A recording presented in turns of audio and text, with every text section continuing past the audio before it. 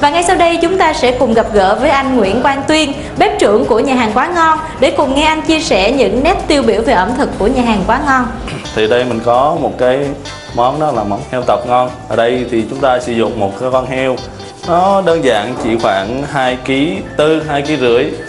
Nên là heo nó không có mỡ da mỏng quay lên có vị vàng rất đẹp và rất là giòn. Mình ăn với lại rau rừng cộng với lại mắm tôm thì đây mình có một cái món đó là món cá tầm. Khi làm ra thì thứ nhất, mỡ, ít, thịt, rất là ngon. Ngọt để chúng ta chế biến được ít nhất, đó là món gỏi là đầu tiên.